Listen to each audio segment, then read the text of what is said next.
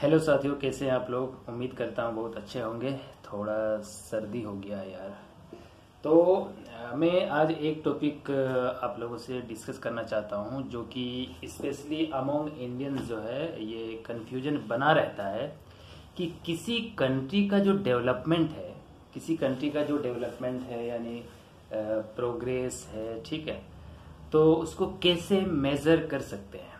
यानी मैं कैसे अनुमान लगा सकता हूँ कि एक कंट्री जो है प्रोग्रेस कर रहा है या नहीं कर रहा वेदर इंडिया इज़ डेवलपिंग और नॉट तो देखो, कोई भी चीज़ को मापने का कुछ पैरामीटर्स होता है। जैसे मान लो, मेरी हाइट मान लो कि चलो वन सिक्सटी सेवन है, ठीक है सेंटीमीटर है।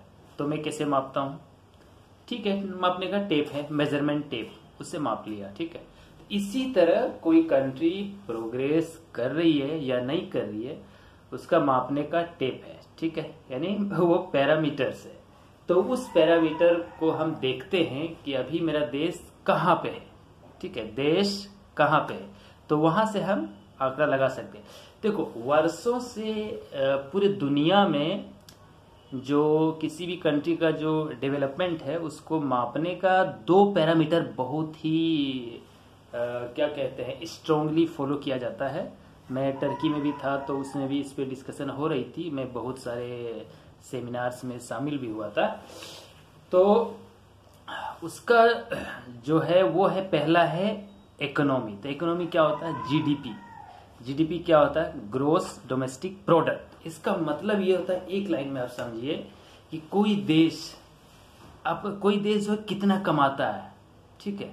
यानी इसका ऐसे भी सर सकते हैं कि the amount a country earns ठीक है? जो अमाउंट एक देश कमाया, वही उसका क्या हुआ? जीडीपी हुआ, ठीक है?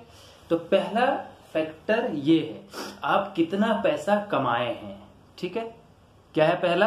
पहला पैरामीटर किसी भी देश का डेवलपमेंट मापने का पहला पैरामीटर क्या है? जीडीपी ठीक है ग्रोस डोमेस्टिक प्रोडक्ट यानी देश कितना कमाता है नंबर वन नंबर दूसरा है सिंपली आप सीखें, जो कि मतलब वर्ल्ड वाइड जो है बड़े बड़े इकोनॉमिस्ट के द्वारा भी कहा गया है, वो है, किसी देश का अनएम्प्लॉयमेंट कितना कम है? जिस देश का अनएम्प्लॉयमेंट जितना कम होगा, वो देश उतना प्रोग्रेस्ड डेवलप्ड कहलाएगा। बात समझ में आ रही है? मेरे देश का जो अभी अनएम्प्लॉयमेंट इंडेक्स है, मत पूछो, ठीक है? आप एक बार गूगल कर लेना। मैं यहाँ नहीं बोलूँगा। फोर्टी फाइव ईयर ईयर्स में ऐसा हुआ है कि देश का जो अनएम्प्लॉयमेंट रेट है, वो सबसे नीचे है। दो तो और दुनिया में ये बहस चली, दुनिया में ये डिस्कशन चला कि यही दो फैक्टर है डेवलपमेंट यानी एक प्रोग्रेस्ड कंट्री या वेल बींग जो कंट्री है डेवलप्ड जो कंट्री है, उनका प्रोग्रेस मापने का। तो बातें आगे जब चली तो ये नहीं हुआ। उन्होंने कहा कि और भी फैक्टर्स हैं, बहुत सारे फैक्टर्स हैं, ये बात सही है। तीसरा जो इम्पोर्टेंट फैक्टर वो आप जान लीजिए, उसके बाद डिस्कस करेंगे। तीसरा इम्पोर्टेंट फैक्टर है, उसको बोलते हैं एचडीआई रैंक क्या होता है? ह्यूमन एच का मतलब होता है ह्यूमन डेवलपमेंट इंडेक्स आज मेरी आवाज़ थोड़ा सा डिफरेंट होगा क्योंकि थोड़ा मुझे सर्दी है। तो ह्यूमन डेवलपमेंट इंडेक्स हिंदी में मानव विकास सूचकांक, ठीक है, ये क्या होता है? यानी व्यक्ति का जो ह्यूमन डेवलपमेंट इंडेक्स का मतलब आप ये समझ लीजिए कि आदमी का जो लिविंग स्टैंडर्ड है, ठीक है, एक डिसेंट लेवल ऑफ़ लिविंग होना चाहिए। तो वो वहाँ पे हम कहाँ हैं? ठीक है, मानव विकास सूचकांक में हम कहाँ हैं? तो उसमें जो हम हैं इंडिया जो अभी है राइट नाउ वो कहाँ पे है? 131वां स्थान है। India India global position in H D I rank is 131 ये बहुत ही खराब है विच इज़ वर्स्ट ठीक है? ये इंडिया को सुधारना चाहिए। थोड़ा सा सर्दी है मैं इसको हल्का सा ऐसे करता हूँ अभी बाद में इसको साफ़ कर लूँगा। उसके बाद जो है आ, उसके बाद हाँ उसके बाद जो मेजर चीज़ है वो भी आपको थोड़ा बता देता हूँ। क्या इतना ही है हमारा वो डेवलपमेंट मापने का? नहीं, ठीक है। डेवलपमेंट मापने का एक और तरीका होता है, जो वेल बींग इंडेक्स अगर हम कहें वेल बींग इंडेक्स जानते हो, जिसको अभी दुनिया ने अलग अलग तरीके से नाम दे दिया है, जैसे कुछ कंट्री बोलता है हैप्पीनेस इंडेक्स ठीक है? तो हैप्पीनेस इंडेक्स में हम कहाँ हैं? ठीक है। हैप्पीनेस इंडेक्स का मतलब ये हुआ कि आदमी कितना खुश है लिविंग स्टैंडर्ड क्या है पर्टिकुलर चीज़ का एक्सेस उसके पास है कि नहीं है, जो डिसएडवांटेज सेक्शन से लोग आते हैं, उसके पास एजुकेशन का एक्सेस है कि नहीं है मेडिकल का एक्सेस है कि नहीं है इन्वायरमेंट फैक्टर भी है इसमें, ठीक है? तो ये सब जो है हैप्पीनेस इंडेक्स में आ जाता है, जिसको अगर हम शॉर्ट में बोले तो लाइफ एक्सपेक्टेंसी कह लो, ठीक है? तो ये हुई उसके बाद जो मेजर एक फैक्टर है, जो मैं अभी बता रहा हूँ, उसमें मेरा देश काफ़ी पीछे जा रहा है, ठीक है?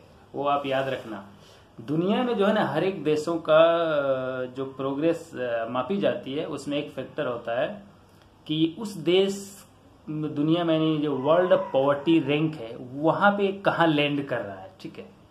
तो मैं आपको बताऊँ एक बुरी सा खबर।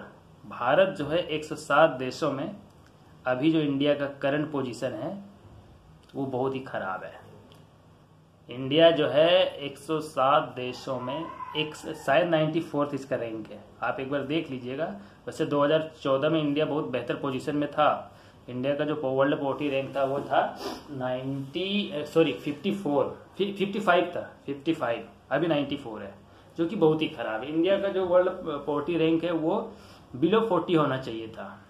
वैसे हमारे पास पॉपुलेशन है पोवर्टी होगी। दैट इज़ करेक्ट लेकिन जो हमारा लास्ट में जो डीमोनिटाइजेशन हुआ और भी बहुत सारा फैक्टर्स था जैसे अनऑर्गेनाइज सेक्टर ठीक है जिसको इनफॉर्मल सेक्टर भी कहते हैं वो जो है पूरी तरह से क्या हो गया? बर्बाद हो गया ठीक है। तो ये ये भी एक बहुत बड़ा फैक्टर है किसी भी कंट्री के डेवलपमेंट को मापने का। आगे देखते हैं आगे क्या है? हाँ, आगे है कि कोई कंट्री के पास जो है जुडिशरी जुडिशरी बहुत अच्छा रोल प्ले करती है। एक कहावत है टर्किश में, कहता है, अदालत अदालत मुल्कुन तेमेली दिर। ये टर्किश के कहावत में लिटल ट्रांसलेशन कर रहा हूँ। अदालत मुल्कुन तेमेली दे इसका मतलब ये हुआ कि judiciary is the basis of judiciary is the foundation of every government ठीक है? या एवरी कंट्री ऐसा इसका ट्रांसलेशन हुआ। एग्जैक्ट तो नहीं हुआ, लेकिन यही हुआ। तो किसी भी हुकूमत को चलाने के लिए जुडिशरी जो है बहुत इंपॉर्टेंट चीज़ है। अब कैसे इंपॉर्टेंट है मैं आपको बताता हूँ। आप जो है झूठ पे फॉल्स पे, ठीक है? झूठ पे जो है एक शॉर्ट टर्म प्लेजर ले सकते हैं। छोटी, यानी छोटे, कम समय के लिए खुशी हासिल कर सकते हैं, जुल्म कर सकते हैं। लेकिन ये दौर में नहीं बदलेगा। यानी आप 100 साल 200 साल 300 साल आप ये नहीं कर सकते ठीक है? क्योंकि जो सच्चाई है, वो छिपती नहीं है। ठीक है? तो नेल्सन मंडेला का एक कहावत था ना कि truth is a flame that can be hidden that can be hidden but never extinguished तो सच्चाई छिप सकती है। सच्चाई वो वो आग का शोला है जो छिप सकती है यानी जो हाँ छिप सकती है, लेकिन मिट नहीं सकती। That can not be wiped out ठीक है? तो ये ये एक जुडिशरी बहुत अच्छा रोल प्ले करता है। जुडिशरी में ये देखना होगा कि फेयर जजमेंट हो रहा कि नहीं। अब फेयर जजमेंट क्या है? व्हाट इज़ जजमेंट ठीक है। तो जजमेंट भी आप समझिए। या जस्टिस समझिए। जस्टिस बेहतर होगा कि जस्टिस को समझिए। मैं, चलो जस्टिस को ही बता देता हूँ। जस्टिस का डिफिनेशन होता है कि जस्टिस मतलब जस्टिस का डिफिनेशन होता है a fair judgement judged on the basis of law recognised by constitution मैं एज इट इज़ डिफिनेशन बता रहा हूँ। क्या होता है? A fair judgement judged on the basis of law recognised by constitution इसका मतलब ये होता है कि हिंदी में क्या होगा ट्रांसलेशन कि हिंदी में ट्रांसलेशन मैं थोड़ा बताता हूँ, देखता हूँ कैसा होता है। हिंदी में ये हुआ कि आप फेयर जजमेंट करिए, यानी एक ऐसा फैसला करिए जो पक्षपाती ना हो जो कानून पर आधारित हो और वो कानून भारतीय संविधान के खिलाफ ना हो, भारतीय संविधान से मैच खाता हो। ये सिंपल चीज़ है। तो ये सब पैरामीटर्स है। अगर ये पैरामीटर में देश खरा उतर रहा है, ठीक है तो क्या हो रहा है? देश तरक्की कर रहा है, ठीक है। ये शॉर्ट जानकारी थी। आपको इस पर और अधिक जानकारी प्राप्त करनी चाहिए। मुझे लगा कि मैं थोड़ा सा इसको शेयर करूँगा दो चार जगह ताकि लोग थोड़ा सा जागरूक हो जाए। क्योंकि एक डेमोक्रेटिक कंट्री में एक जागरूक नागरिक होना बहुत ज़रूरी है। और डेमोक्रेसी उसी देश में फ्लरिश करता है, जहाँ का वोटर 50 परसेंट से ज़्यादा ग्रेजुएट हो। और आपको पता है मेरे देश में कितने परसेंट लोग ग्रेजुएट हैं?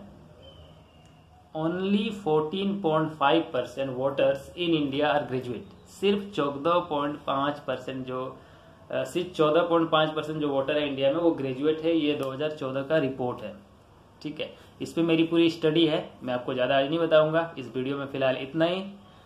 फिर कोई नई टॉपिक लेकर आऊँगा फ्री में। ठीक है? तब तक के लिए शुक्रिया। बाय टेक केयर आप ध्यान रखिए अपना।